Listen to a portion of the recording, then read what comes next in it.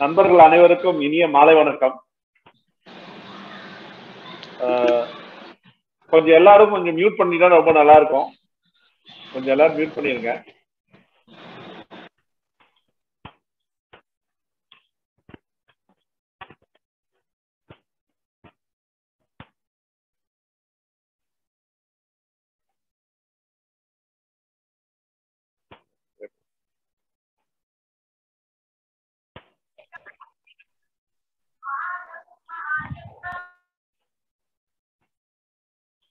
நண்பர்கள் அனைவருக்கும் இனிய மாலை வணக்கம்.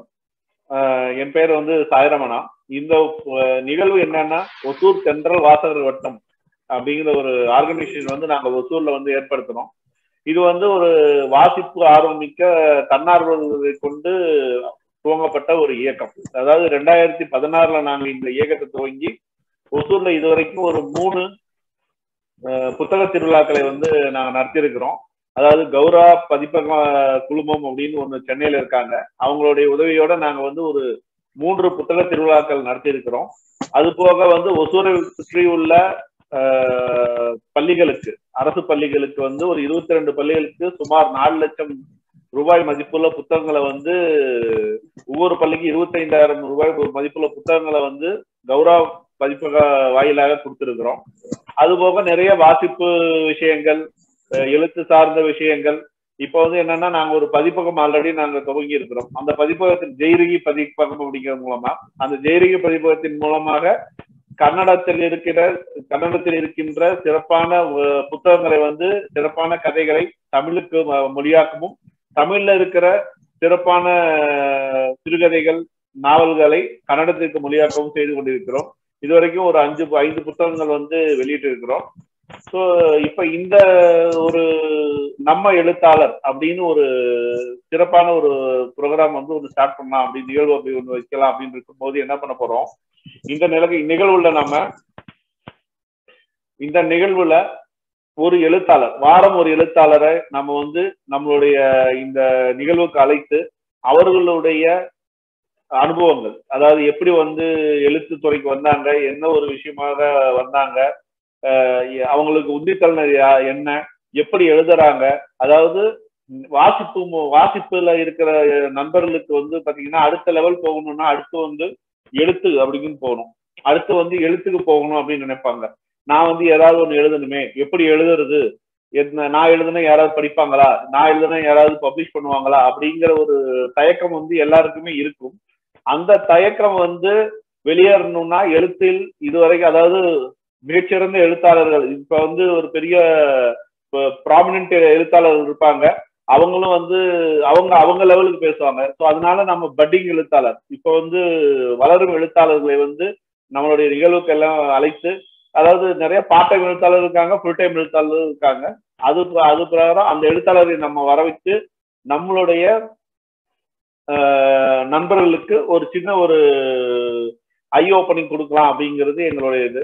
ஸோ அது பிரகாரம் இன்றைய நிகழ்வை வந்து சிறப்பிக்க வருகை இருக்கும் திருமதி பத்மா சந்திரசேகர் அவர்களை நான் இந்த முதல் நிகழ்வுக்கு அழைக்கின்றேன். குத்துகளை கேட்டு தொகுக்குமாறு அழைக்கின்றேன். அதாவது பத்மா சந்திரசேகர் அவங்கள பத்தி சொல்லணும்னா அவங்க வந்து எல்லாரும் சின்ன கதைகள் கவிதைகள் எழுதுவாங்களா தெரியாது. கவிதைகள் எழுதிட்டு வருவாங்க. ஆனா மேடம் வந்து ஒரு பெரிய இரண்டு புத்தகங்களை வந்து ஒரு பெரிய வரலாற்று நாவல்ல எழுதி ரெண்டு நாவல் எழுதி அவங்களோட தடத்தை வந்து ரொம்ப ஸ்ட்ராங்கா பதிச்சிருக்காங்கன்னு சொல்லலாம். ஒண்ணு வந்து அவங்கள வந்து எழிலி அப்படிங்கிற ஒரு புதினத்தை படைச்சிருக்காங்க. இரண்டாவது வந்து நயனவல்லியின் காதல் அப்படின்னு ஒரு இரண்டு புத்தகங்கள் கௌரவ பதிப்பகம் மூலியமாக வெளிவந்திருக்கிறது. இப்போ வந்து மூன்றாவதா ஒரு கதை எழுதியிருக்காங்க.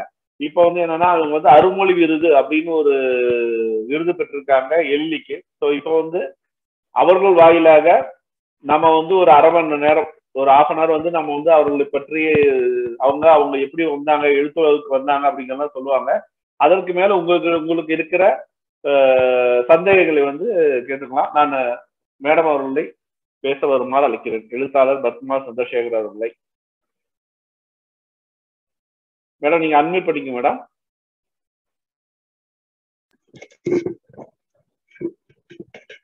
நன்றி சார் அனைவருக்கும் இனிய மாலை வணக்கம்.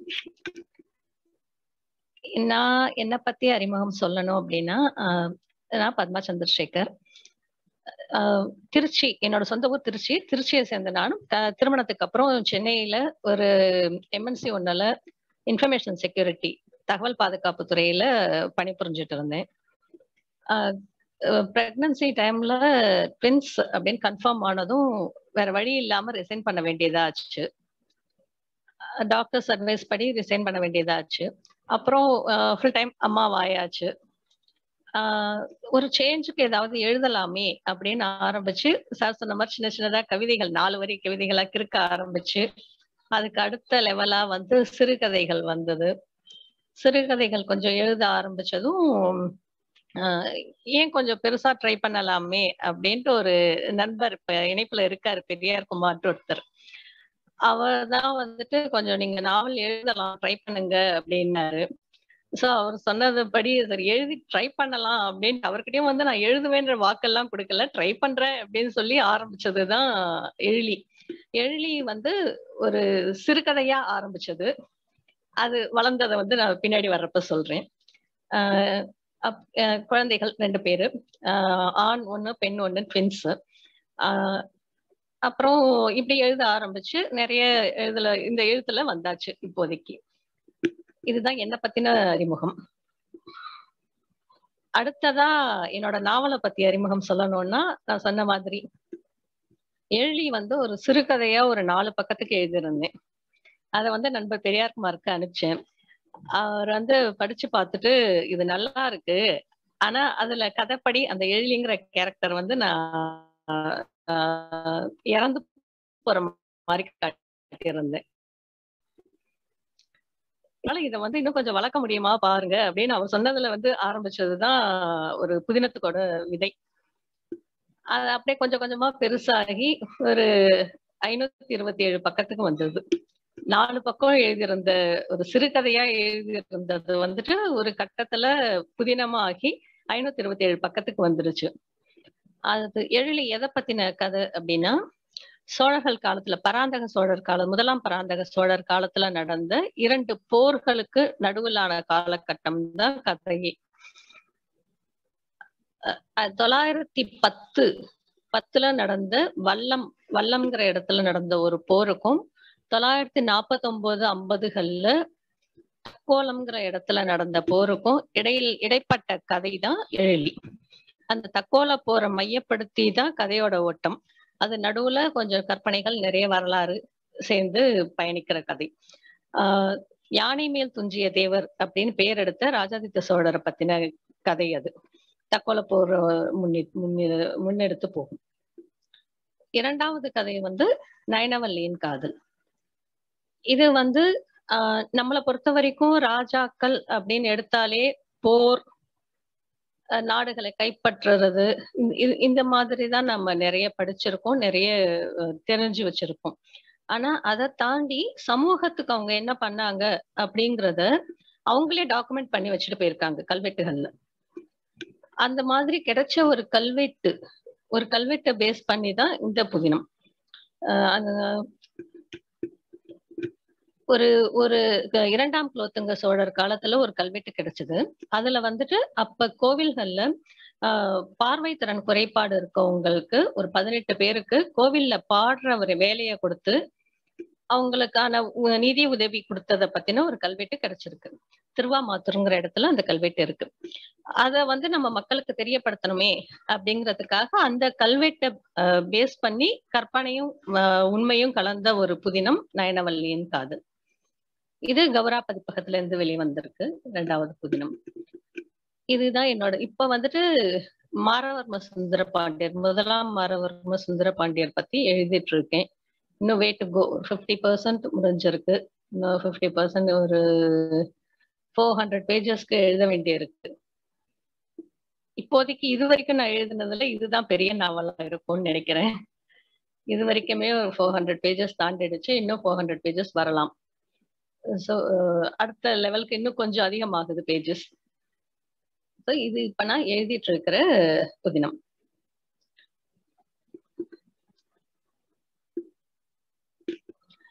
என்னோட வாசிப்பு அனுபவம் பத்தி சொல்லணும்னு நினைக்கிறேன். நான் எப்ப வாசிக்க ஆரம்பிச்சேன் அப்படின்னு யோசிச்சு பார்த்தப்போ படிக்க ஆரம்பிக்கிறதுக்கு முன்னாடியே வாசிக்க ஆரம்பிச்சிருக்கேன் போல இருக்கு அப்படிங்கிறது தோணுது. நான் புஸ்தகங்களை தாண்டி ஏதாவது பாட புத்தகங்களை தாண்டி ஃபர்ஸ்ட் வாசிச்ச புத்தகம் என்னோட தாத்தா எனக்கு பரிசளித்த ஒரு புத்தகம். ஒண்ணும் கிடையாது ஒரே ஒரு கதை. ஒரு பூனைக்குட்டி நூல் கண்டு உருட்டிட்டு போகும். அந்த நூல் கண்டு அது தீந்து போயிடும். பூனைக்குட்டி ஏமாந்துரும். இதுதான் நான் ஃபர்ஸ்ட் ஸ்டாண்டர்ட்ல படிச்சது. ஃபர்ஸ்ட் ஸ்டாண்டர்ட்ல பார்த்தது. அது வந்து இன்னமும் அந்த நினைவுல இருக்கு. அதாவது பாட புத்தகங்கள் தாண்டி நம்ம படிக்கிறது நமக்கு எவ்வளவு நினைவுல இருக்குங்கிறதுக்கு இதை நான் சொல்ல வரேன். அந்த ஃபர்ஸ்ட் ஸ்டாண்டர்ட்ல எனக்கு விவரம் தெரியறதுக்கு முன்னாடியே பார்த்த அந்த ஃபர்ஸ்ட் நான் படிச்ச வா வாசிச்ச நம்ம சொல்ல முடியாது. இருந்தா கூட பாடப்புத்தகங்கள் தாண்டி நான் பார்த்த ஃபர்ஸ்ட் புத்தகம் இதுதான். அப்புறம் வளர வளர அப்ப சின்ன குழந்தைகள் இதழ்கள் வந்துட்டு இருந்தது இல்லையா? கோகுலம் ரத்னபாலா பாலமித்ரா பாப்பா அந்த மாதிரி இதழ்கள்லாம் நிறைய அப்பா வாங்கி கொடுத்துருக்காரு. காமிக்ஸ் அதெல்லாம் சேர்ந்து படிச்சு ஆஹ் புஸ்தகங்களோட தான் வளர்ந்துருக்கோம். அந்தந்த வயதுக்கு தேர்ந்த புத்தகங்கள் வந்து நமக்கு கிடைச்சிட்டே இருந்திருக்கு. அதுக்கு அடுத்த லெவலா குமுதம் ஆனந்த விகடன் வார பத்திரிகைகள். அதுக்கு அடுத்த லெவலா வந்துட்டு புதினங்கள் அப்படின்னு. நான் வாசிச்ச ஃபர்ஸ்ட் புதினம் வரலாற்று புதினம் அப்படின்னா அது பொன்னியின் செல்வன் தான். எல்லாரையும் எல்லா வரலாற்று இப்போதைக்கு இருக்கிற எல்லா வரலாற்று ஆசிரியர்களும் சொல்ற இதுதான். நானும் பொன்னியின் செல்வன் படிச்சதுதான் அதுல ஆதித்த கரிகாலர் யார் கொலை பண்ணாங்கிறத தேடத்தான் வரலாறு தேட ஆரம்பிச்சேன். அதோட தாக்கம் தான் அடுத்தடுத்து வரலாற்று புதினங்களையும் படிக்க வச்சது வரலாறையும் தேட வச்சது. சோ இப்படி தேடிட்டு படிச்சுட்டு இருக்கும்போது எதேச்சையா அதாவது அப்ப ஆரம்பிச்ச வேடன்ல வேல்பாரி சு வெங்கடேசன் சார் வேல்பாரி ஆரம்பிச்சாரு. நம்ம எது எல்லாத்தையும் போலத்தான் அதையும் படிக்க ஆரம்பிச்சேன். ஒரு புதினமா ஒரு தொடராதான் படிக்க ஆரம்பிச்சேன். ஆனா போக போக அதுல ரொம்ப ஈர்க்கப்பட்டுட்டேன் நான்.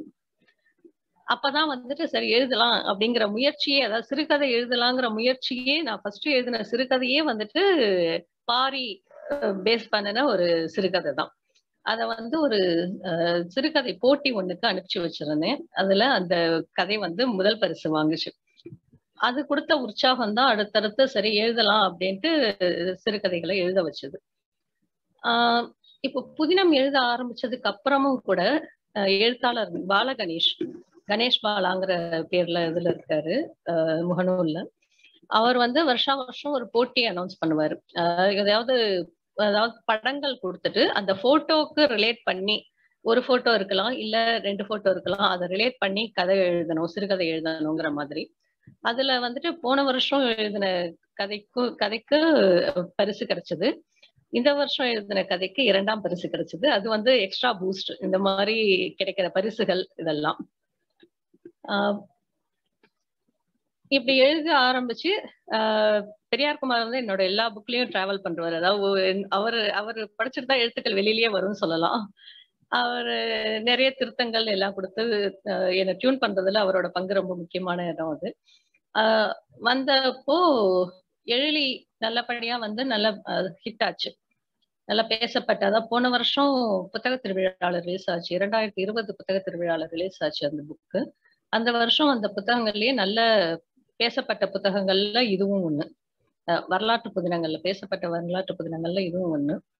இதுக்கு சோழர் வரலாற்று ஆய்வு சங்கம் அப்படிங்கிற ஒரு முகநூல் குழு வந்து அருமொழி விருது அப்படிங்கறத ஒண்ணு அனௌன்ஸ் பண்ணியிருந்தாங்க. அதுல அவங்க இப்பதான் ஃபர்ஸ்ட் டைமா அவங்க வந்து புதினங்களுக்கான அவார்டு அப்படின்னு வர்றப்போ அதுல ஃபர்ஸ்ட் செட் ஆஃப் இதுலயே என்னோட பேரும் வந்ததுல எழிலியும் வந்ததுல எனக்கு ரொம்பவே பெருமையும் சந்தோஷமும்.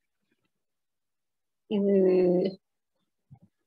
இதுதான் என்னோட எழுத்துக்கள் என்னோட புதினங்கள் பத்தின அறிமுகம்.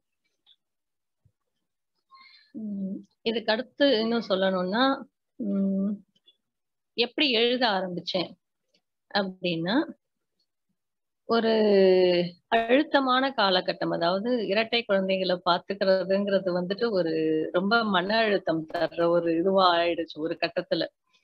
ரொம்ப என்னடா அப்படின்ட்டு ஏதாவது பண்ணணுமே அப்படின்றதான் எழுத வந்தது.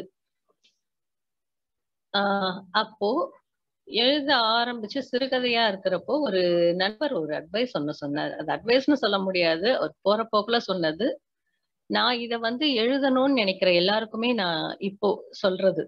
அதாவது அது அவர் சொன்னதோட ஆஹ் ஆக்கம் எவ்வளவு ஆழம் அது அப்படிங்கறத இப்ப நான் உணர்ந்திருக்கேன். உணர்ந்து சொல்றேன். ஒரு ஏதாவது ஒரு நாட்டு எடுத்துக்கோங்க. அதை வந்து ஒரு பக்கம் எழுதுங்க. அதையே வந்து நாற்பது பக்கம் எழுதுங்க. இவர் வந்து போற போக்குல என்னோட நண்பர் ஒருத்தர் சொல்லிட்டு போன அட்வைஸ் இது. அட்வைஸ்னு கூட சொல்ல முடியாது. என்னோட இதுல வந்து ரொம்ப பெரிய தாக்கத்தை ஏற்படுத்தின வார்த்தை இது. அவர் சொன்னது படிதான் அதை யோசிச்சு பார்க்கும்போது தான் இப்ப புரியுது நாலு பக்கத்துலக்கு வந்த எழிலி வந்து எப்படி நானூறு பக்கம் தாண்டுச்சு அப்படின்னா இதுதான் பேஸ் அந்த பழக்கம் ஒரே ஒரு கருவை எடுத்துட்டு அதை எப்படி நாலு பக்கத்துக்கும் கூட எழுதுறது நானூறு பக்கமும் எப்படி எழுதுறது அப்படிங்கறத வந்து எழுதி ப்ராக்டிஸ் பண்ணுங்க அப்படின்னு அந்த ஒரு இதை தான் நான் வந்து சக நண்பர்களுக்கும் இதை நான் பகிர்ந்துக்குப்பேன் சொல்ல நினைக்கிற ஒரு விஷயம்னா இது. ஆஹ் இதை தவிர உம் கதைகளை பத்தி சொல்லணும் அப்படின்னா வரலாற்று புதினங்களுக்கும் மற்ற இதுக்கும் ஒரு பெரிய வித்தியாசம் என்ன இருக்கு அப்படின்னா மற்ற கதை ஏதாவது சமூக நாவலை ஓரளவுக்காவது நம்ம அனுபவிச்சிருப்போம். வரலாற்று நாவல்கள்ல வந்து முழுக்க முழுக்க கற்பனை மட்டும்தான். இப்படி இருந்திருக்கலாம் அப்படி இல்லாமலும் இருந்திருக்கலாம். இத பேஸ் பண்ணி தான் நம்மளோட யூகங்களை தான் அங்க நம்ம கோத்து ஆகணும் யூகங்களை தான் வந்து அத்தியாயமாக்கணும் யூகங்களை தான் வந்து வார்த்தைகளாக்கணும் யூகங்களை தான் வா வாக்கியங்கள் ஆக்கணும் ஆஹ் கிடைச்ச கிடைக்கிற சான்றுகள் வந்து கொஞ்சம் தான் இருக்கும். அத அத வந்து நம்ம எ- எந்த அளவுக்கு நம்ம அத அதுல கற்பனையை வளர்த்து நம்ம எழுதுறோங்கிறது தான் வரலாற்று புதினங்களோட ஒரு சேலஞ்சுன்னே சொல்லலாம் அது. ஆஹ் ஏன் வரலாறு? இதையும் தாண்டி இவ்வளோ இது பண்ணி அதுல இன்னும் வரலாறுல ஒரு முக்கியமான இது என்ன அப்படின்னா நிறைய ராஜாக்கள் வந்துட்டு அவங்களோட அந்த பெஸ்ட் பார்ட் மட்டும் தான் நமக்கு தெரிஞ்சிருக்கும். அவங்களோட அதர் சைடு பார்க்கணும்னா வேற ஒரு வேற நாட்டு எதிரி நாட்டோட இதுல எல்லாம் பார்க்கும்போது இவங்களோட அதர் சைடும் நமக்கு தெரிய வரும். ஆனா நம்ம எழுதும் போது வந்துட்டு அந்த ஹீரோடம் வந்து நம்ம விட்டுடாமலும் எழுதணும். அதே சமயம் உண்மையை ஒட்டியும் எழுதணும். உண்மையை நம்ம ஹீரோவாக்கணும் அப்படிங்கிறதுக்காக உண்மையை மறைக்கவும் முடியாது. வரலாறு நம்ம கிட்ட இருக்க வரலாறு காட்டி கொடுத்துரும். இந்த சேலஞ்ச இது பண்ணி எழுதுறது தான் வரலாற்று புதினங்களுக்கான ஒரு சவால்னு எடுத்துக்கலாம். அடுத்ததா உம் ஏன் வரலாறு? இவ்வளவு கஷ்டப்பட்டும் ஏன் வரலாறு எழுதணும்? அப்படின்னா ஆஹ் அதேதான் ஒரு சின்ன நாட் அந்த ஆதித்த கரிகாலனை கொலை பண்ணது யாரு? அப்படிங்கிறதுக்காக தான் வந்து நம்ம அந்த தேடல் வரலாற்று தேடலையே ஆரம்பிச்சோம். தேட ஆரம்பிச்சதுக்கு அப்புறம் தான் புரிஞ்சது ஆஹ் வரலாறுங்கிறது வந்துட்டு ஒரு பிரமிப்பு அப்படிங்கிறது. உள்ள போக போக இப்ப நமக்கெல்லாம் வந்துட்டு சாதாரணமா ஒரு அடிப்படும் அப்படின்னாலே நான்லாம் ஊசி போட்ட கூட பயப்படுற ஆளு. அத எப்படி அவங்க தலையை வெட்டி கையில எடுத்தாங்க? எப்படி அவங்க அந்த இறக்க அந்த அந்த வீரம் அப்படிங்கிறது ஒரு பிரமிப்பா இருந்தது. அந்த வீரம் ஒரு பிரமிப்பு அப்படின்னா அந்த வீரத்துக்கு வந்துட்டு அஹ், இப்போ நம்ம இறந்துட்டா நம்ம குடும்பம் என்ன ஆகும்? அப்படிங்கிற அந்த பயம் இல்லாம ஒரு தியாகம் பண்றதுக்கு ஒரு மனுஷனுக்கு இது வருதுன்னா அப்ப அந்த அரசாங்கத்துக்கு மேல அவன் வச்சிருந்த நம்பிக்கை ஒரு பிரமிப்பு. அந்த குடும்பம் என்னவாகும் அப்படிங்கிற பயம் இல்லாத அளவுக்கு ஒரு ந- அந்த அரசாங்கம் நம்மளை பார்த்துக்கும் நம்ம குடும்பத்தை பார்த்துக்கும் அப்படிங்கிற ஒரு நம்பிக்கை அவனுக்கு அந்த வீரனுக்கு இருந்திருக்கு அப்படிங்கிறது ஒரு பிரமிப்பு. அப்ப அவங்கள வந்து காப்பாத்திருக்காங்க அந்த அரசாங்கமும் அப்படிங்கிறது ஒரு பிரமிப்பு. அந்த பிரமிப்போட நீட்சி தான் தேடலா வருது. தேடலா வந்து இன்னும் என்ன இருக்கும் இன்னும் என்ன இருக்கும் அப்படிங்கிறத தேட வைக்குது. அந்த தேடலோட வெளிப்பாடு தான் தென் நம்ம இத வந்துட்டு ஆஹ் என்னவா நம்ம வெளியில எடுத்துட்டு வரலாம்னா என் கையில இருக்கிற ஒரே ஆஹ் எனக்கு தெரிஞ்சது எழுத்து தான். இப்ப எழுத்து வழியா தான் நம்ம கொண்டு வர முடியும் அப்படிங்கறதால ஆஹ் இதுதான் வரலாற்று புதினங்கள் ஏன் எழுதுறேன் அப்படிங்கிறதுக்கான காரணம்னா நான் இதைத்தான் சொல்ல முடியும். இது ஒரு அந்த பிரமிப்போட நீட்சி தான் தேடல். உள்ள போக போக தேடலோட நீட்சி பிரமிப்பாகி பிரமிப்போட நீட்சி இன்னும் தேடலாகுது. உள்ள போக போக அவ்வளவு பிரமிப்பா இருக்கு. இப்படி நடந்திருக்கா இவ்வளவு நடந்திருக்கா அப்படிங்கிறது அதோட நீட்சி தான் வந்து வரலாற்று புதினங்களை எழுதணுங்கிற ஒரு உந்துதல் தருது இப்போ எழுதிட்டு இருக்கிறது வந்துட்டு ஒரு பாண்டியர்கள் சோழர்கள் ரெண்டு பேருக்குமே ஒரு முக்கியமான காலகட்டம். ஆஹ், சோழர்களுக்கு கொஞ்சம் ஒரு செட்பேக் தந்த டைம் பாண்டியர்கள் கொஞ்சம் ஒரு மேல எழுந்திருக்கிற நேரம். இது ரெண்டு இந்த ஆனா ரெண்டு பேருமே வந்துட்டு அவங்கவுங்க இடத்துல ஸ்ட்ராங்கா இருந்திருக்காங்க. இந்த இடத்த பேலன்ஸ் பண்ணி எழுதுறது தான் இப்போ எழுதிட்டு இருக்க சுந்தர பாண்டியன் மூன்றாம் குலோத்துங்க சோழர் காலத்து கதை. எல்லாரோட வாழ்த்துக்களோட இதுவும் நல்லபடி வெளிவந்து நல்லபடி பேர் நல்ல பேர் வாங்கும்னு நம்புறேன். நன்றி. ஓகே நன்றி மேடம். ரொம்ப சிறப்பா பேசுனீங்க. நண்பர்களே இப்ப வந்து நம்ம வந்து அடுத்த வந்து கேள்வி பதில் பகுதி. மேடம் வந்து இது வந்து அவங்களுடைய கன்னி பேச்சு இந்த மாதிரி பிளாட்ஃபார்ம்ல எனக்கு தெரிஞ்சு தான் அவங்களுடைய கன்னி பேச்சுன்னு நினைக்கிறேன். ஸோ ரொம்ப சிறப்பாவே சொன்னாங்க. So, எங்க மக்கள் வந்து பாத்தீங்கன்னா நண்பர் சாயி அந்த சங்கர் வந்து இவங்க வந்து ஏற்கனவே ஒரு சிறுகதையாளர் குரூப் வச்சிருக்காங்க. பனுவல் பலகை அப்படின்னு சொல்லிட்டு. அவங்களாம் அட்டன் பண்ணியிருக்காங்க. ஸோ அடுத்து வந்து எ- எழுத்துலக அவங்க எல்லாம் நுழையறதுக்கு ந- முயற்சி பண்ணிட்டு இருக்காங்க ஸோ அவங்களுக்கான என்னென்ன டிப்ஸ் கொடுக்குறீங்கன்னு அடுத்து வரும். இப்போ நம்ம ஒரு தடவை லாக் அவுட் பண்ணிட்டு எல்லாரும் மறுபடியும் அகைன் லாகின் பண்ணுவோம் இந்த இதில். நண்பர்கள் அனைவரும் யார் யார் கலந்துருக்கீங்களோ லாக் அவுட் பண்ணி லாகின் பண்ணுவோம் அகைன் அப்போ நம்ம வந்து இது போல ஏன்னா இன்னும் ஒரு ஃபைவ் மினிட்ஸ்ல இது க்ளோஸ் பண்ணிடுது நமக்கு என்னென்ன கேள்விகள்னா தயார் பண்ணி வச்சுக்கோங்க. பத்மா சந்திரசேகர் அவர்கள் வந்து நமக்கு அதை பத்தி பதில் சொல்லுவாங்க. நன்றி. ஆ ஓகே கேள்விகள் கேட்கலாம்.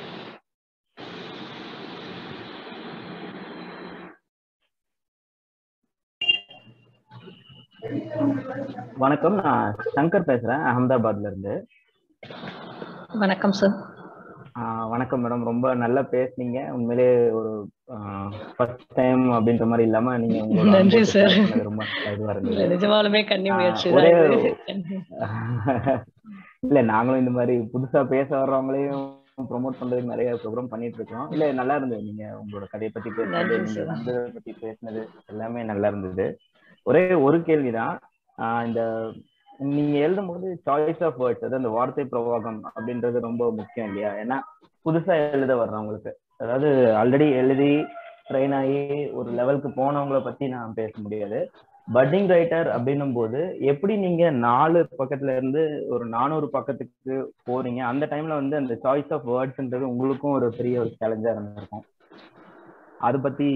கேட்கணும்னு நினைச்சேன். இன்னொன்னு நீங்க புதுசா வார்த்தைகள் யூஸ் பண்ணணும் அப்படின்னு எப்போவாது நீங்க முயற்சி பண்ணிருக்கீங்களா? இல்ல ஏற்கனவே இருந்த வார்த்தைகள் உங்களுக்கு தெரிஞ்ச பரிச்சயமான வார்த்தைகளை யூஸ் பண்ணா போதும் அப்படின்னு நினைச்சு சொல்றீங்களா இந்த ரெண்டு கொஸ்டின் தான் சரிங்க சார் முதல் கேள்விக்கு சார் அதாவது நாலு பக்கம் சிறுகதை எழுதினப்போ ஒரு சின்ன ஒரு ஒரு சின்ன நிகழ்வை மட்டும் எடுத்து எழுதியிருந்தேன். இப்போ அதை வந்து நாவல் போது அதாவது அந்த நாலு பக்கத்தை இன்னும் நம்ம வளர்க்கணும் அப்படிங்கிறப்போ எவ்வளவு வளர்க்க போறோம்? அப்படின்னு யோசிச்சப்போ ஒரு த்ரீ ஹண்ட்ரட் பிளஸ்க்கு வளர்க்கலாம் அப்படின்னு முடிவாச்சு. அந்த முடிவானப்ப இன்னும் நம்ம அதுல எதுல என்ன முன்ன பின்ன என்ன சேர்க்கலாம் அப்படின்னு யோசிச்சப்போ அந்த ரெண்டு போருக்கு நடுவிலான காலகட்டம் இந்த போரோட ஒரு இதுதான் இந்த எளியோட முடிவு. அந்த ஃபர்ஸ்ட் அந்த போரை பத்தி மட்டும் பேசியிருந்தோம். அந்த அந்த போருக்கான சூழல் என்ன? எதனால அந்த போர் வந்தது?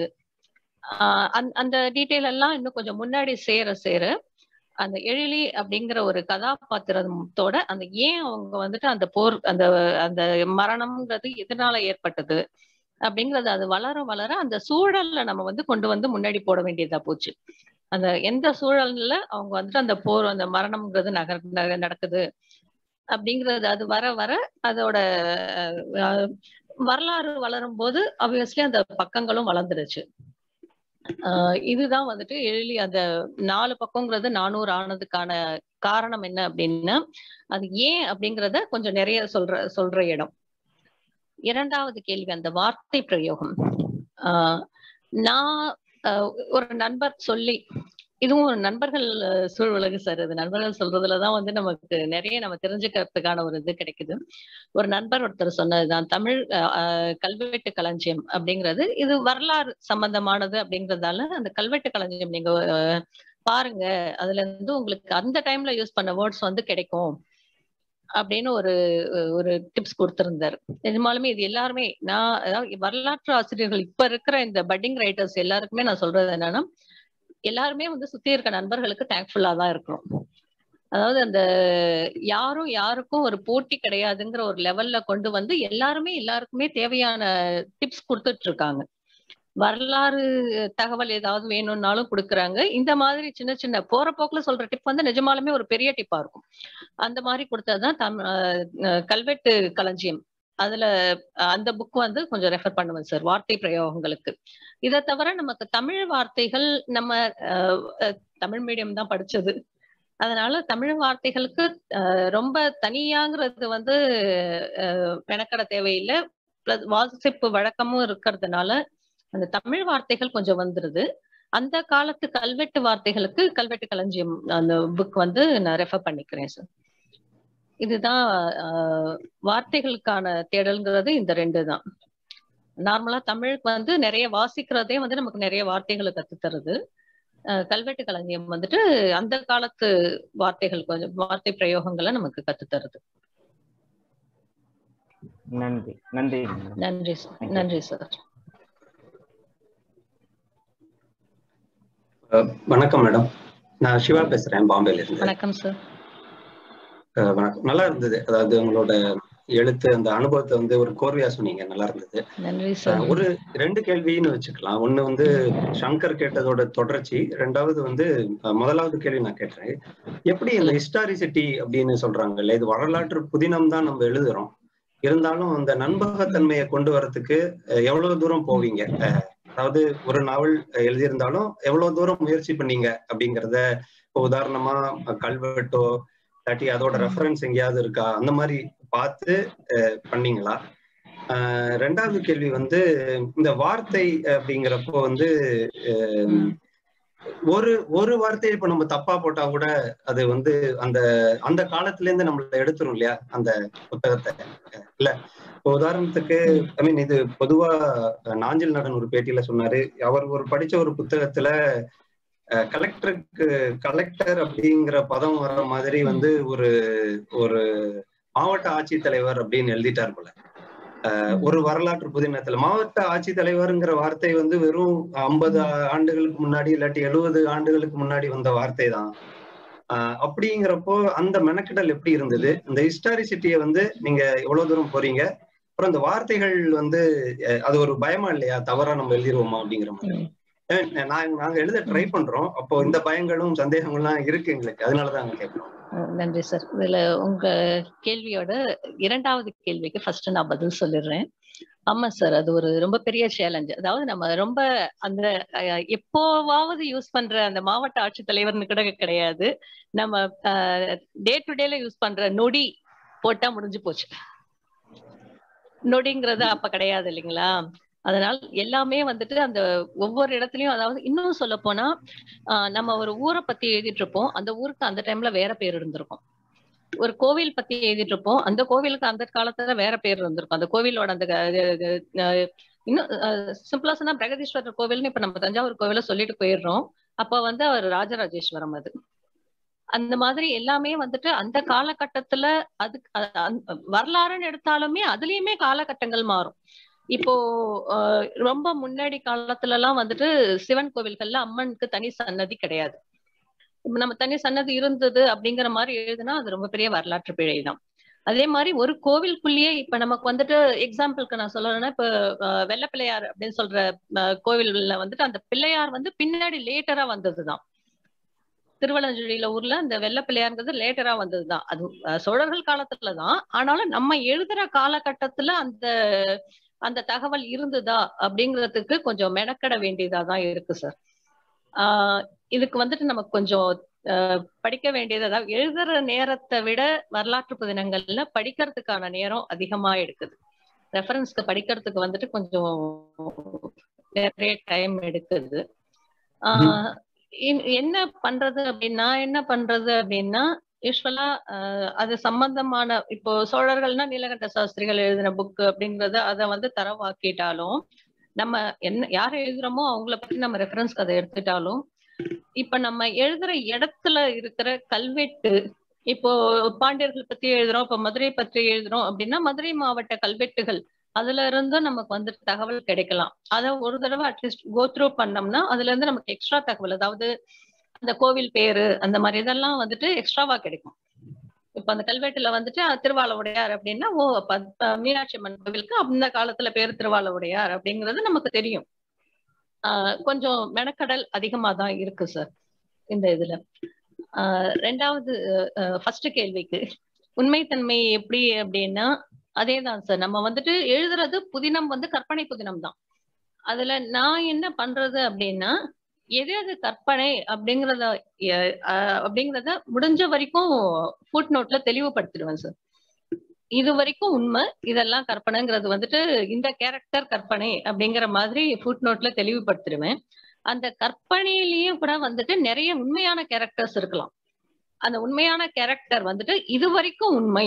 இதுக்கப்புறம் வர்றது கற்பனை. அதாவது இப்போ ஒரு ஒரு படை தளபதி இருந்திருக்கலாம். அந்த படை தளபதி இருந்தாங்கிறது உண்மை. அது வந்துட்டு நமக்கு கல்வெட்டு ஆதாரம் இருக்கு. ஆனா இந்த கதையில நடந்த விஷயங்கள் வந்துட்டு கற்பனை. அப்படிங்கிறது கதையோட்டத்துக்காக இவரோட இதுக்கு மேல வர்றது வந்து கதையோட்டத்துக்காக உபயோகப்படுத்தப்பட்டது அப்படிங்கிற மாதிரி ஒரு ஃபுட் நோட் நான் போட்டுற ஒரு இது இருக்கு. ஆஹ் முடிஞ்ச வரைக்கும் எல்லா கல்வெட்டையுமே கூட படிச்சுமே கல்வெட்டுன்னா இன்ஸ்கிரிப்ஷனே இதுவா கிடையாது. அதோட டீட்டெயில்ஸ் நமக்கு தமிழ்நாடு இந்த வெளியிட்டு இருக்க அந்த புக்கு புத்தகங்களை எடுத்து ரெஃபர் பண்ணி அஹ், முடிஞ்ச வரைக்கும் எல்லா கல்வெட்டுலயுமே கூட படிச்சுட்டு ஆஹ், வரலாற்று பிழை வரக்கூடாது அப்படிங்கறதுல வந்துட்டு ரொம்பவே கவனமா இருக்கேன் சார் எல்லாருமே இப்ப இருக்கவங்க எல்லாருக்குமே இதுதான் ஒரு சேலஞ்ச் வரலாற்று பிழையே வந்துடக்கூடாது.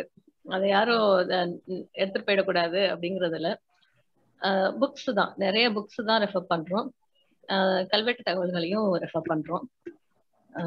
முடிஞ்ச வரைக்கும் நம்ம கவனத்துக்கு வந்த எந்த தகவலையும் மாத்தாம அதுக்கு ஆப்போசிட்டா எதுவும் எழுதிடாம அந்த தகவலை ஒமிட் பண்ணாமலும் கொண்டு போக ட்ரை பண்றோம். Okay ma'am. இது சார். சார்ந்த ஒரே ஒரு கேள்வி. கேட்கலாமா தெரியல. சொல்லுங்க சார் சோ இது இந்த இவ்வளவு மெனக்கிடல் இருக்கிறப்போ. ஒரு புதினம் வந்து ஒரு டாக்குமெண்ட்ரியா மாறிற கூடிய சாத்தியங்கள்லாம் இருக்குல்ல. அது அதை எப்படி பேலன்ஸ் பண்ண முடியும்? அஹ், பண்ணணும் அப்படிங்கிற மாதிரியும் சொல்லி ஆஹ் இப்போ இதுக்கு நான் வந்துட்டு பொன்னியின் செல்வனை தான் உதாரணமா எடுக்கணும். பொன்னியின் செல்வன் அதான் வரலாறை தேட தொடங்குறவங்க எல்லாருக்குமே ஒரு ஒரு முக்கியமான மைல்ஸ்டோனை கொடுக்கறது வந்து பொன்னியின் செல்வன் தான். இப்போ பொன்னியின் செல்வன் நிறைய கற்பனை கதாபாத்திரங்கள் இருக்கு. ஆனா அந்த கதாபாத்திரங்கள் நிஜம் அப்படின்னு நம்புறவங்களும் இன்னும் இருக்காங்க. ஆனா அஹ், ஒண்ணு நம்ம படிக்க ஆரம்பிக்கும் போதே ஒரு விஷயத்த நம்ம மனசுல வச்சுக்கணும். ஆஹ் புதினம் புதினம் தான். வரலாறு நம்ம தெரிஞ்சுக்கணும் அப்படின்னா ஆய்வு நூல்கள் தான் வரலாறு சொல்றதுக்கு. ஆனா அது எல்லாருக்குமே அந்த ஆய்வு நூல்கள் வந்து புரியுங்கிறது சொல்ல முடியாது. இப்ப எனக்கே வந்துட்டு ஃபர்ஸ்ட் ஒரு புக்கை படிச்சேன்னா எனக்கு நீலகண்ட சாஸ்திரிகள் சோழர்கள் படிச்சேன்னா எனக்கே வந்து புரியாது. நம்ம தேவைக்காக படிக்கிறப்பதான் வந்துட்டு அதுல நிறைய நம்ம இது நமக்கு வேணுமே அப்படின்னு படிக்கிற போதுதான் புரியுது. அதுவும் அந்த பர்டிகுலர் இடத்த மட்டும் மட்டும் அப்படி படிச்சுட்டு தான் வரேன். ஃபுல்லா படிச்சா எனக்கே புரியுமாங்கிறது தெரியல. அப்படிங்கும்போது அந்த அதை வந்து சிம்பிளிஃபை பண்ணி வர்றதுதான் புதினம். முடிஞ்ச வரைக்கும் அதுல தப்பு இல்லாம வந்ததுன்னா அதுல வந்து நம்ம அந்த மனசுல நிறுத்த முடியும் அந்த வரலாற்று சம்பவத்தை. ஓகே. நான் சரியா இதுக்கு பதில் சொல்லியிருக்கேனா தெரியல. உங்க கேள்விக்கு விளக்கம் கிடைச்சதான்னு எனக்கு தெரியல. கிடைச்சது மேடம். நன்றி நன்றி. நன்றி சார் வேறு கேள்விகள்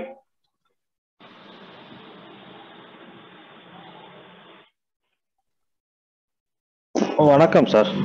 நான் பெரியார் குமார் பேசுறேன். வணக்கம் வணக்கம் வணக்கம். முன்னாடி உங்க உங்க தண்டர் வாசல் வட்டத்துக்கு மிகப்பெரிய வாழ்த்துக்கள். இவ்வளவு பெரிய சாதனை செஞ்சிருக்கீங்க. சும்மா கூடி கலை கூடி கலையிற கூட்டம் இல்லாம இது மாதிரி அரசு பள்ளிகளுக்கு நாலு லட்சம் ரூபாய் பொறுமானம் உள்ள புத்தகம் கொடுக்குறது மிகப்பெரிய சாதனை. இது வெளில தெரியாது. இப்பதான் சொன்னது சந்தோஷம். இப்ப மேடம் பெருந்தன்மை ரெண்டு மூணு பேரு பேரை சொல்லியிருந்தாங்க. அது அவங்களோட பெருந்தன்மை. நிறைய பேர் ஹெல்ப் பண்ணிட்டு இருக்காங்க அவங்களுக்கு. ஆஹ் கல்வெட்டு சம்பந்தமாக ஆலோசனை பண்றதெல்லாம். அவங்க சொன்ன மாதிரி ஒரு பாரி கதை வந்து யதார்த்தம் படிக்கும்போது அதுல ஒரு பெரிய ஒரு இது தெரிஞ்சது. அந்த ஒரு பெரிய எழுத்தாளர்களுக்கான ஒரு வீழ்ச்சி தெரிஞ்ச மாதிரி எனக்கு தெரிஞ்சு. ஸோ அவங்க சொன்ன அப்ப இந்த அப்ப இந்த எலியோட கதை கொடுத்துருந்தாங்க. நல்லா இருக்கா? படிங்க அப்படின்னு. படிச்சுட்டு சொன்னா நல்லா இருக்கு. கதை கன்டினியூ பண்ணுங்க. பெருசா எக்ஸ்பேண்ட் பண்ணுங்க அப்படின்னு. நம்ம சினிமா பார்க்க நமக்கு தெரியும். சினிமா வந்து ஒரு ரெண்டு வரி ஸ்டோரி தான் இருக்கும். அது ஒரு மூணு நிமிஷம் மூணு மணி நேரத்துக்கு எக்ஸ்பேண்ட் பண்ணதான் அந்த ஸ்கிரிப்ட் திரைக்கதை. அது ரொம்ப ஆச்சரியப்பட்டேன் அவங்க வந்து அதை வந்து எப்படி கொண்டு போறாங்க எப்- எவ்வளவு தூரம் அதை வந்து விரி கொண்டு போறாங்க அப்படின்னு அதே ஆச்சரியப்பட்டேன் அவங்க சொல்ற மாதிரி எந்த இப்ப இரளியா இருக்கட்டும் அதுக்கப்புறம் நயனவல்ல காதலியா இருக்கட்டும் இப்ப எதிர்த்துக்கிறதா இருக்கட்டும் எழுதினவனே எனக்கு அனுப்புவாங்க. எழிலுக்கு மட்டும்தான் நான் கரெக்ஷன் சொன்னேன். அதுக்கப்புறம் எனக்கு அங்க வேலையே கிடையாது. நம்ம விமர்சகர் தானே ஈஸியா சொல்லிடலாம். சமைக்க தான் தெரியாது. ஆனா அதுல குறை சொல்ல தெரியும். ஸோ அது மட்டும் தான் நான் பண்ணேன். இது சரியில்லை அப்படின்னு சொல்லிட்டு இருப்பேன். இப்போ ரெண்டு நாவலுக்கு எனக்கு அந்த வேலை கூட கிடையாது. ஆனால் அதில் எனக்கு என்னன்னா இப்போ ஒரு ஒரு இப்போ பொன்னியின் செல்வம் மாதிரி ஒரு இது வந்து ஒரு மாஸ் புக்கு வந்து நம்ம படிச்சிருக்கோம். அது வந்து எல்லாருக்குமே ரெஃபரன்ஸ் அதுதான். நம்ம நாவல் படிக்கிறவங்க எல்லாருமே வந்து வரலாற்று நாவலுக்கு எல்லாருமே வந்து குரு வந்து அதுதான். பொன்னியின் செல்வம் தான் ரெஃபரன்ஸ் நமக்கு. அது எழுதின கல்கி நமக்கு பழக்கம் கிடையாது. எங்கேயோ அது அதுக்கப்புறம் உடையாரு அந்த மாதிரி மிகப்பெரிய எழுத்தாளர்கள்லாம் நமக்கு வந்து அப்ப இருந்த சுஜாதாவோ ஏதோ ஆதர்ச எழுத்தாளர் யாருமே நமக்கு வந்து பழக்கம்லாம் கிடையாது. ஆனா இப்ப நீங்க அறிமுகப்படுத்துற மாதிரி இந்த அறிமுக எழுத்தாளர்கள்லாம் வந்து அதுல சக்சஸ் ஆனாங்க இவங்க. இவங்க கூட ஷேர் பண்றது நமக்கு ஒரு மிகப்பெரிய ஒரு இது. இன்னைக்குதான் வைரமுத்தோட இது ஒண்ணு படிச்சேன். எப்படின்னா வைரம் சொல்ல எப்படின்னா தமிழகத்தில் உள்ள எல்லாரும் படிக்கிறவங்க எல்லாருமே ஒண்ணு எழுத்தாளர் இருக்கிறாங்க இல்ல எழுத ட்ரை பண்றாங்க. ஸோ எல்லாருக்குமே அந்த ஆசை இருக்கும். ஒரு கட்டத்துக்கு மேலே. நம்ம ஏதாச்சும் எழுதியிருப்போம். அபத்தமா எழுதியிருப்போம் கிழிச்சு போட்டிருப்போம்.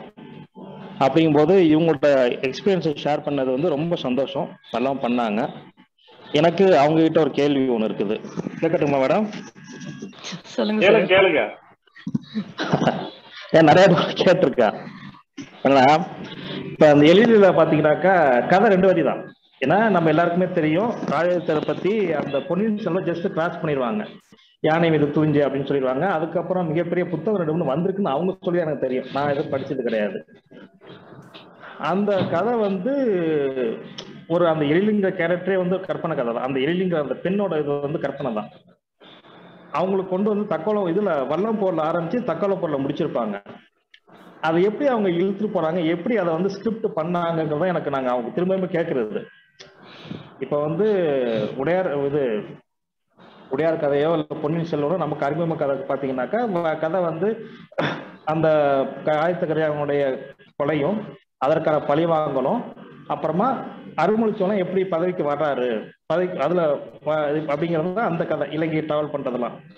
அதை வந்து ஒரு அஞ்சு வாலியமா அவர் இழுத்திருப்பாரு. இழுத்திருப்பாருன்னா நம்ம சுவைப்பட சொல்லியிருப்பாரு. வந்தியத்தேவனில் கொண்டு வந்திருப்பாங்க ஆழ்வார்க்கடியானு இந்த மாதிரி கேரக்டர்லாம் அதனால இதுல நிறைய கேரக்டர் இருக்குது. அவங்க சொன்ன மாதிரி நான் நான் சொல்றேன்.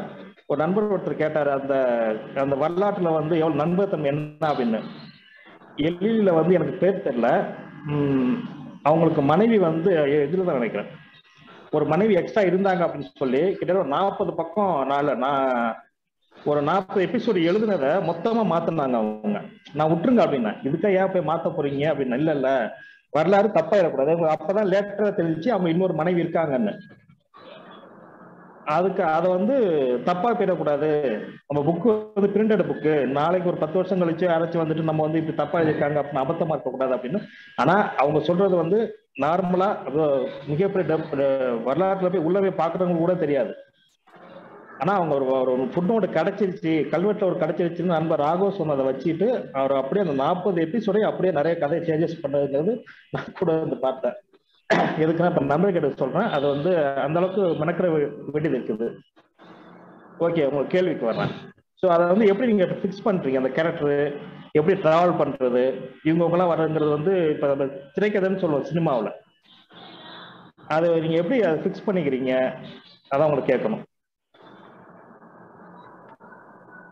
இந்த கேள்வி புரியுதா மேடம்? புரியுது சார் இதுக்கு பதில் சொல்லணும்னா ஒரே வார்த்தையில சொல்லலாம். அதாவது கதை தன்னை எழுதிக்குது. அப்படிதான் சொல்லணும். அதாவது நான் முன்னாடியே வந்துட்டு இந்த இந்த கேரக்டர் அதாவது வரலாறுல உண்மையான கேரக்டர்ஸ் மட்டும்தான் எனக்கு தெரியும். அதுல இருந்து நம்ம கற்பனையா யார் யாரை கொண்டு வர போறோமோ அதுல லீடிங் கேரக்டர்ஸ் மட்டும்தான் முன்னாடியே நம்ம பிளான் பண்ணி வச்சிருப்போம். அதுல அதை தவிர செகண்டரியா தேர்ட் டெர்ஷரியா வர்றவங்க எல்லாம் வந்துட்டு அது போற போக்குல தானா அவங்களாம் வந்து ஜாயின் ஆயிக்கிறாங்க. அப்படித்தான் சொல்லணும் அது. இவங்களை உள்ள கொண்டு வரணும். அதாவது சொல்லுங்க. போற போக்குல பேக்ல போற போக்குல பேக்ல அள்ளி போட்டு போயிடுறீங்க அவங்களெல்லாம். அப்படித்தான் சொல்லணும். அதாவது இந்த ஏலி பொறுத்த வரைக்கும் ராஜாதித்தர் ஏழி அப்படிங்கிற கேரக்டர்லாம் வந்துட்டு ஃபிக்ஸட் முன்னாடியே அந்த மேஜரா வரப்போற கேரக்டர்ஸ் எல்லாம் வந்து ஃபிக்ஸ் ஆகிருக்கும் ஆனா பின்னாடி வந்த துணை கேரக்டரா வர்றவங்க எல்லாம் வந்துட்டு அந்த ஊர் தலைவரா இருப்பாரு. அப்புறம் இந்த மாதிரி கேரக்டர்ஸ் எல்லாம் வந்துட்டு கதையில நல்ல இம்பாக்ட் கொடுக்கும். ஆனாலும் அவங்களுக்கு அவங்களுக்கான முன்னாடியே பிளான் இருக்காது இருந்ததில்லை. எழுதும்போது இவங்களை இங்க கொண்டு வந்தா நல்லா இருக்குமே அப்படின்னு தோணி அந்த டைம்ல எழுதினதுதான் சின்ன சின்ன கேரக்டர்ஸ் வரலாம் அந்த பெரிய கேரக்டர்ஸ் எல்லாம் வந்துட்டு முன்னாடியே ஃபிக்ஸ் ஆகிடும். இவங்க இவங்களும் நம்ம கொண்டு வர போறோங்கிறது வந்துட்டு அந்த பெரிய கேரக்டர்ஸ்க்கு மட்டும்தான் ஃபிக்ஸ் ஆகும். சின்ன சின்ன கேரக்டர்லாம் அது போற போக்குல அவங்களா வந்து ஜாயின் ஆயிக்கிறாங்க. அப்படிதான் சொல்லணும். ஓகே நன்றிங்க. வாழ்த்துக்கள் நண்பர்களே உங்களுக்கு. நன்றி பெரியார் குமார் அவர்களே. மிக்க நல்ல நல்ல ஒரு இது சொன்னீங்க. மிக்க நன்றி. உண்மையாலுமே நீங்க ஒரு எழுத்தாளர் உருவாகிறதுக்கு வந்து நீங்க ஒரு ஊடுருவலா இருந்திருக்கீங்க ஒரு தூண்டுகோலா இருந்திருக்கீங்க அது ரொம்ப ரொம்ப முக்கியம். நீங்க எடுத்த உடனே இது நல்லா இல்ல அப்படின்னு சொல்லியிருந்தீங்கன்னா அவங்க அன்றையோட எழுதுறது முட்டு மூட்டை கட்டி வச்சிருப்பாங்க. இல்லம்மா நீ நல்லா எழுதிருக்கீங்க அப்படிங்கிறது அவங்களுக்கு ஒரு உத்வேகம் கொடுத்துருக்குது இல்லைங்களா? ஆமா சார். நன்றிதான்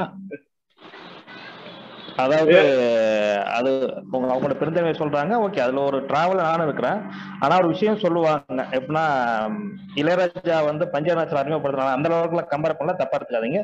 ஜஸ்ட் சொன்னேன் பஞ்சு சொன்னது. நான் அறிமுகப்படுத்தப்பட்டாலும் இளையராஜா வந்திருப்பாரு. அதே மாதிரி நான் இல்லைன்னா அடுத்த நாள் சொல்லியிருப்பாங்க இன்னொரு சொல்லியிருப்பாங்க. அவ்வளவுதான் தவிர அந்த ஸ்பாட்ல நீங்க சொன்னது நல்லா இருந்துச்சு. நன்றி நன்றி. வேறு கேள்விகள்?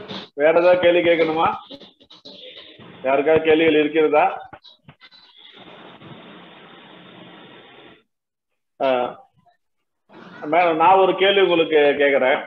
இப்ப நீங்க வந்து ஆக்சுவலி சுஜாதா சொல்லியிருப்பாரு. நீங்க ஒரு நூறு பக்கம் எழுதுறீங்கன்னா ஒரு ஆயிரம் பக்கம் படிக்கணும். இல்லைன்னா ஒரு பத்தாயிரம் பக்கம் படிச்சாதான் நூறு பக்கம் எழுத முடியும் அப்படின்னு இருக்காரு.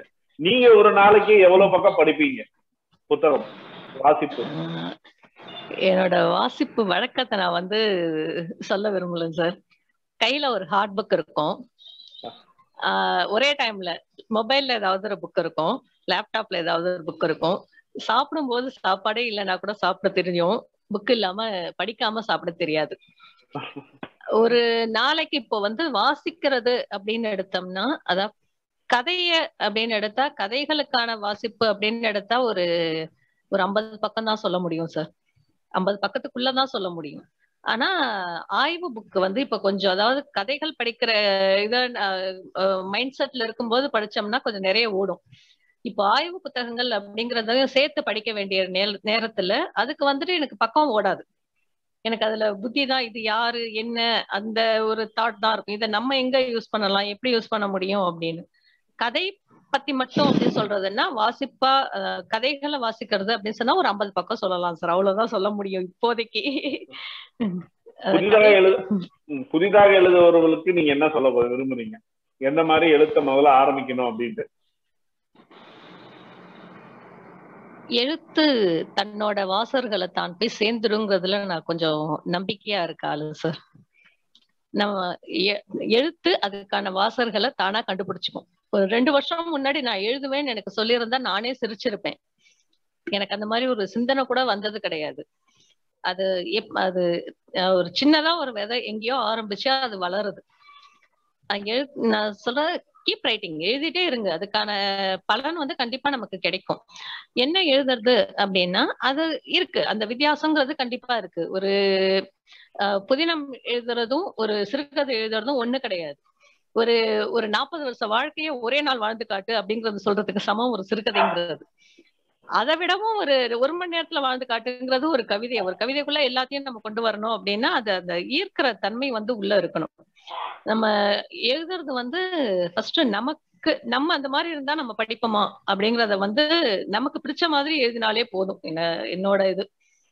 நான் அஹ், பெரியார் கிட்ட கூட அதான் சொல்லுவேன். எனக்கு பிடிக்கல அப்படின்னா அது வந்துட்டு அஹ், பிடிக்குங்கிறத நம்ம சொல்ல முடியாது. ஒரு கதைக்குள்ள நம்ம இழுத்துட்டு போற ஒரு தன்மை வந்து நம்ம நமக்கு பிடிச்சிருந்தா மட்டும்தான் வரும். அதே மாதிரி கதைக்குள்ள இழுத்துட்டு போற மாதிரி அதுக்கு த இப்போ ஒரு புதினம்னா ஒரு ஐம்பது பக்கம் நம்ம கொடுத்துக்கலாம். ஐம்பது பக்கத்துக்கு அப்புறம் நம்ம உள்ள போற மாதிரி இருந்தா கூட போதும். இப்போ ஒரு சிறுகதைன்னா ஃபர்ஸ்ட் ஒரு ஒரு பேராகிராஃப்லயே நம்ம அந்த உள்ள இழுத்துட்டு போற ஃபேக்டர் நம்ம கொடுத்தாகணும். அதை படிக்கிறதுக்கான இன்ட்ரெஸ்ட் வந்து அதுக்கப்புறம் தான் வரும். அந்த கதைக்குள்ள நம்ம இழுத்துட்டு போயிடணும். ஒரு தொடர்னா ஃபர்ஸ்ட் எபிசோட்லயே உள்ள எடுத்துட்டு போயிடணும். அதுக்கப்புறம் தான் வந்து அந்த உள்ள உள்ள என்ன இருந்தாலும் அதை படிக்கிறதுக்கான ஆர்வம் வந்து நம்ம அது அங்கதான் அதை நம்ம கொடுத்தாகணும். பிடிச்ச மாதிரி எழுதுங்க. நமக்கு பிடிச்சிருந்ததுன்னா கண்டிப்பா அது எல்லாருக்கும் பிடிக்கும்னு நம்பி எழுதுங்க. எல்லாருக்கும் வந்து அவங்களுடைய முதல் புத்தகம் அவங்களுடைய எழுத்து வந்து ஒரு பிரசுரிக்கப்பட்டு ஒரு புத்தகமா கையில பார்க்கும்போது ஒரு ஒரு பெரிய ஒரு ஆனந்தம் இருக்கு. அது ஒரு பேரானந்தம். அது சொல்ல வார்த்தையால சொல்ல முடியாது.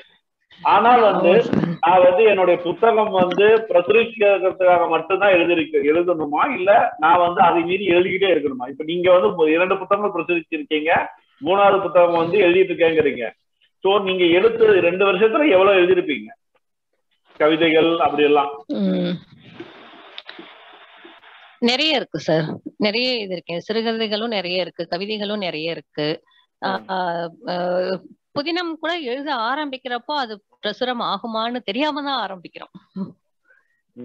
அது தெரியாம தான் ஆரம்பிக்கிறோம். அது பிரசுரம் ஆகிறதுங்கிறது வந்து நீங்க சொன்ன மாதிரி அது நமக்கு அடுத்த லெவல் அது. ஆஹ் அ- அவ்வளவும் முடிஞ்சு நிஜமா அந்த கையில ஒரு புக்க ஹார்ட் புக்க கையில பாக்குற நேரம் வந்துட்டு நிஜமா அது ஒரு குழந்தைய ஈண்டெடுக்கிற மாதிரி தான். அது நல்ல. சந்தோஷம். வேற ஏதாவது கேள்விகள் இருந்தா கேட்கலாம். அவரு அவங்களுடைய அனுபவங்கள் உங்களுடைய அனுபவங்கள் நீங்க ஏதாவது எழுதிருக்கீங்களா அதை பத்தி கேட்கறதா கேட்கலாம். ஓகே மேடம் ஆக்சுவலி இந்த குழு பாத்தீங்கன்னு வச்சுக்கோங்களேன், இப்ப இன்னைக்கு இருக்கிற குழு வந்து மிக தீவிரமான வாசிப்பு களத்துல இயங்குற நபர்கள் தான் எல்லாருமே. ஸோ நிறைய வாசிக்கிறவங்க டெய்லி நிறைய வாசிக்கிறவங்க நிறைய எழுதுறவங்க. செந்தில் சார் ஏதாவது பேசுறீங்களா? இல்லையா? ஸோ ஆக்சுவலி இந்த இல்ல இல்ல. முசூர் சென்ட்ரல் தென்றல் பட்டமும் அதே தான் நாங்க வந்து ரொம்பவே தீவிரமான வாசிப்பு காலத்துல இயங்குறவங்க. ஸோ நிறைய நிறைய எழுத்தாளர்களை உருவாக்கணும் அப்படிங்கிற ஒரு இதோட ஆரம்பிச்சிருக்கோம். இது வந்து இந்த ப்ரோக்ராம் வந்து மிகவும் சிறப்பாக துவக்கி வச்சிருக்கிறீங்க. இதை இதே லிங்க்ல நீங்க வந்து எல்லாரும் கலந்துருங்க. அடுத்த வாரம் இன்னும் ஒரு எழுத்தாளர் அதாவது இன்னொரு ஜேர்னல்ல எழுதுறவர் மிகப்பெரிய எழுத்தாளர். அவர் வந்து நம்ம கூட பேச வருகிறார். எவரி சண்டே ஒவ்வொரு வாரமும் ஞாயிற்றுக்கிழமை இந்த ஜூம் லிங்க் இதே லிங்க்லயே இருங்க. கலந்து கொண்டு உங்களுடைய சந்தேகங்களை போக்கிக் கொள்ளுங்கள். இன்னும் நிறைய விஷயங்களை பத்தி நம்ம பேசுவோம். ஏன்னா நிறைய நம்ம பா வெங்கடேசன் பெரிய சுவாமி இந்த மாதிரி எழில்வரதன் இந்த மாதிரி பெரிய பெரிய எழுத்தாளர்கள் எல்லாம் அழைக்கலாம் அப்படின்னு இருக்கிறோம். அதாவது நம்மளை சுத்தி இருக்கிற எழுத்தாளர்கள் அவ்வளவு பிரபலமாக பிரபலம் ஆயிருப்பாங்க இல்ல இன்னும் எழுதி எழுதி கொண்டே இருப்பார்கள் இதை எழுத்தை பற்றி ரொம்ப தீவிரமாக இருப்பவர்களை இயங்குபவர்களை நம்ம பார்க்கலாம். ஆக்சுவலி இதுல வந்து எக்ஸாம்பிள் யாருன்னா உதயணன் சார் பத்தி நம்ம சொல்லணும். உதயணன் சார் வந்து நிறைய அதாவது நிறைய கதைகள் வரலாற்று கதைகள் வந்து இன்னைக்கு வந்து இன்றைய சாண்டில்யன் அப்படிங்கலாம். அன்னைக்கு சாண்டில்யன் ஒருத்தர் நிறைய எழுதினாரு கல்கி எழுதினாருன்னா இன்னைக்கு வந்து வரலாறு எழுதுறவங்களுக்கு எல்லாருக்குமே ஒரு முன்னோடி யாருன்னா உதயணன் சார் தான். அப்படின்னு நம்ம சொல்லலாம். அவர் வந்து பக்கம் பக்கமா எழுதுவாரு. இப்பயே கிட்டத்தட்ட நம்ம இந்த லாக்டவுன் பீரியட்ல ஒரு ரெண்டாயிரம் பக்கம் மூவாயிரம் பக்கத்துக்கு எழுதி புத்தகமா வெளியிட்டு இருக்கிறாரு அவர் வந்து ஒரு காலத்துல வந்து நிறைய பத்திரிகைகளுக்கு எழுத கொண்டு போய் அவருடைய எழுத்தை கொண்டு போய் நிராகரிக்கப்பட்டு இன்னைக்கு வந்து வரலாற்று புதினங்கள் எழுதுன்னா வந்து எல்லாருக்கும் முன்னோடியா இருக்கிறார் நினைக்கிறேன். அவரை பற்றி ஒரு ரெண்டு ஒரு வார்த்தைகள் சொல்லுங்க மேடம். என்னோட இப்போதைக்கு என்னோட குருநாதரனே நம்ம அவரை சொல்லலாம். ஆஹ் நீங்க சொன்னீங்க இல்லையா லாக்டவுன்ல எழுதினாரு ஆஹ் ரெண்டாயிரத்தி இருபதுல மட்டும் ஆஹ் அந்த லா கையால தான் எழுதுவாரு. இன்னைக்குமே வந்துட்டு கையால தான் எழுதுவாரு. நம்ம எல்லாம் வந்து டைப் பண்ணிட்டு எரேஸ் பண்ணோமா எரேஸ் பண்ணிட்டு நாற்பது பக்கம் எழுதினாலும் திருப்பி போய் நம்மளால எழுத முடியும். எங்க போனோமோ அங்க போய் விட்டுட்டு நம்ம எடிட் பண்ணிக்க முடியும். அவர் இப்பவும் கையால தான் எழுதுவாரு. போன வருஷத்துல மட்டும் மூணு புக்கு ஒவ்வொன்றும் தௌசண்ட் பேஜஸ்க்கு மேல போட்டு மூவாயிரம் பக்கம் கையால எழுதுறதுங்கிறது என்னால வந்து நினைச்சு கூட பார்க்க முடியாத ஒரு விஷயம். முன்னூறு பக்கத்துக்கே நாம எல்லாம் வந்துட்டு தடுமாறுற மாதிரி இருக்கு. அப்பா அது வந்து ரொம்ப பெரிய விஷயம். அவர் அவரை பத்தி எதுவும் பேசுறதுக்கான ஒரு தகுதி கூட எனக்கு இருக்கான்னு தெரியல. ஒரு வியப்பான நான் பாக்குற ஒரு மனுஷர் அவரு. அந்த எப்படி கையால அவ்வளவு பக்கம் எழுத முடியுது? அந்த வியப்பை விட்டே நான் இன்னும் வெளியில வரல. பிரமம் பிரமிப்பு. அஹ், உதயணன் சார் ஒரே வார்த்தையில் சொல்லணும்னா பிரமிப்பு. அதாவது இத்தகைய எழுத்தாளர்களை தான் நாம வந்து ஒவ்வொரு வாரமும் இனிமேல் சந்திக்க போகிறோம். இந்த நம்ம எழுத்தாளர் அப்படிங்கிற பகுதியில. கண்டிப்பா நம்ம எழுத்தாளர்கள் பகுதியில ஆக்சுவலி பா வெங்கடேசன் அவர்களை பத்தி தெரியும் உங்களுக்கு. அவர் ஒசூர்ல இருக்காரு. அவர் வாராணசி பாகீரதியின் மதியம் இந்த மாதிரி புத்தகம் எழுதியிருக்கவர். நான் பெரியசாமி அப்படிங்கிறவர் வந்து ரொம்ப தீவிரமான இலக்கியவாதி. ஸோ இந்த மாதிரி எழுத்தாளர்கள் நம்மளை சுற்றி நிறைய பேர் இருக்காங்க. இவர்கள் எல்லாவற்றையும் நாங்க என்னன்னா வருஷ வருஷம் வந்து எங்களுடைய தோட்டத்துல வந்து எழுத்தாளர்கள் சங்கம் ஒண்ணு வைப்போம். எழுத்தாளர்கள் ஒரு அஞ்சாறு எழுத்தாளர்கள் வந்து நாங்க எல்லாரும் கூடி ஒரு இரண்டு நாள் டிபேட்டு தங்கி இது பண்ணுவோம். இப்போ இதனால கொரோனானால எங்களால பண்ண முடியல. அடுத்த முறை இந்த இப்போ இந்த நிகழ்வு பண்ணும்போது உங்க உங்களை மாதிரி எழுத்தாளர்கள் அனைவரையுமே அழைக்கின்றோம். ஒரு இரண்டு நாள் வந்து எங்களோட விருந்தாளிகளை வந்து தங்கிவிட்டு செல்ல வேண்டும். அடுத்த வாரம் ஒரு புது எழுத்தாளருடன் உங்களை சந்திக்கின்றேன். நண்பர்கள் என்னுடைய அழைப்பை ஏற்று இங்கு வருகை புரிந்த நண்பர்கள் அனைவருக்கும் எனது நன்றியை தெரிவித்துக் கொள்கின்றேன். நன்றி வணக்கம். நன்றி மேடம். எனக்கும் சில நன்றி சொல்ல வேண்டியிருக்கு சார் ஆஹ் இவ்வளவு நேரம் ஒரு இப்பதான் எழுத ஆரம்பிச்சிருக்கேன். என்னையும் மதிச்சு என்னோட பேச்சையும் இங்க கேட்டதுக்கு கேட்டுட்டு இருக்க எல்லாருக்குமே ரொம்ப பெரிய நன்றி. அப்புறம் இந்த சந்தர்ப்பத்தை யூஸ் பண்ணிட்டு எனக்கு ஆஹ் என்னோட எழுத்துக்கு பின்னாடி இருக்க எல்லாருக்குமே நான் நன்றி சொல்ல விரும்புறேன். எனக்கு கல்வெட்டு தகவல் தர்ற நண்பர் ராகவேந்தர். அப்புறம் எனக்கு கூடவே அதாவது நான் எழுதுறதெல்லாம் படிச்சுட்டு ஃபீட்பேக் சொல்றேன் பெரியார் குமார் ராதா மாதங்கி இன்னும் ரெண்டு ஃப்ரெண்ட்ஸ் அப்புறம் நான் எழுதுறதுக்கு ஏதாவது ஒரு அஹ், ஒண்ணுமே அதாவது நம்ம எழுதுவோமா அப்படின்னு தெரியாத இடத்துல வந்துட்டு ஒரு எழுதி பாருங்க அப்படின்னு சொல்லி ஒரு ஒரு புள்ளி போட்டு விட்ட அஹ், கவிதைகள்லாம் எழுத ஆரம்பிச்சது அவரோட தூண்டுதல்ல தான். பிரபு ஆண்டவர் கனி. இவங்க ரெண்டு பேருக்கும் இந்த இடத்துல வந்து என்னோட தேங்க்ஸ் நான் சொல்லிக்கிறேன். அப்புறம் சக எழுத்தாளர்கள் எல்லாருக்குமே என்னோட நன்றிகள். நன்றிகளும் வாழ்த்துகளும். அவங்க எல்லாருமே வந்துட்டு ஒருத்தங்களுக்கு ஒருத்தங்க இப்போ அந்த ஆஹ் இவங்க எழுதுறாங்களா அப்படிங்கறதெல்லாம் கிடையாது. என்ன என்ன கேட்டாலும் எந்த நிமிஷமும் அவங்களுக்கு நமக்கு தேவையான தகவல்கள் எல்லாம் தர்ற நண்பர்கள் இது ஒரு நல்ல இடத்துல நம்ம இருக்கோம். நல்லதா ஒரு அன்பு சூழ் உலகங்கிறது வந்துட்டு ப்ரூவ் ஆன ஒரு விஷயம். இருக்கிற எல்லா அன்பு நண்ப நண்பர்களுக்கும் நெஞ்சங்களுக்கும் நன்றி. நன்றியும் வாழ்த்துகள் நன்றி பெரியார் குமார் அவர்களே நன்றி. பத்மா மேடம் அவர்களே நன்றி செந்தில் நன்றி சாய் சங்கர் நன்றி தேவி சரவணகுமார் ஜெயக்குமார் சுகுமார் அருள் ரேகா அனைவருக்கும் எங்களது நன்றியை தெரிவித்துக் கொள்கிறோம். மீண்டும் அடுத்த ஞாயிற்றுக்கிழமை அப்புறம் இன்னொன்னு சொல்ல மறந்துட்டேன். எவரி வீக் சனிக்கிழமை ஒவ்வொரு வாரமும் சனிக்கிழமை சாயந்தரம் ஆறு மணிக்கு நம்ம சிறுகாதையாளர் பனுவல் பழகு அப்படின்னு சொல்லி ஒரு திருமலர் கையெழுத்து பத்திரிகை நடத்திட்டு இருக்காங்க. அவங்க வந்து ஒவ்வொரு கதையா எடுத்து கதை சொல்லிகள் அதாவது புது கதை சொல்லிகளை வந்து உருவாக்கிட்டு இருக்கிறாங்க. புதுசா யாராவது கதை சொல்லணும்னு அவங்க விருப்பப்பட்டாங்கன்னா அவங்கள வந்து ஒரு கதையை படிக்க சொல்லி அந்த கதையை செலக்ட் பண்ணி கொடுத்து எவரி சனிக்கிழமை ஒவ்வொரு வாரமும் சனிக்கிழமையான மாலை ஆறு மணிக்கு ஆரம்பிக்கிறாங்க. நீங்க விருப்பம் இருக்கிறவங்க அதுலயும் கலந்துக்கலாம். ஞாயிற்றுக்கிழமை சாயந்தரம் ஐந்து முப்பதுக்கு நம்ம எழுத்தாளரை நாம் மீண்டும் சந்திப்போம். நன்றி வணக்கம். நன்றி சார். நன்றி நன்றி நன்றி சார். வணக்கம் நன்றி.